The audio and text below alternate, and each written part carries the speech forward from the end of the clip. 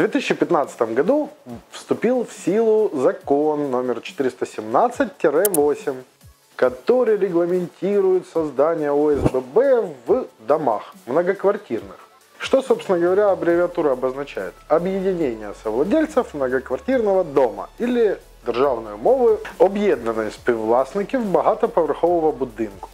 Так вот, наш дорогой мэр Геннадий Адольфович Кернес всячески противодействует созданию ОСББ. Почему? Потому что есть коммунальное предприятие «Жилкомсервис», которое, как известно, выступает эталоном, как заработать миллиард, ничего не делая, потому что она ничего не делает. И сейчас Горсовет, имея квартиры в домах, не подписывает согласие на создание ОСББ.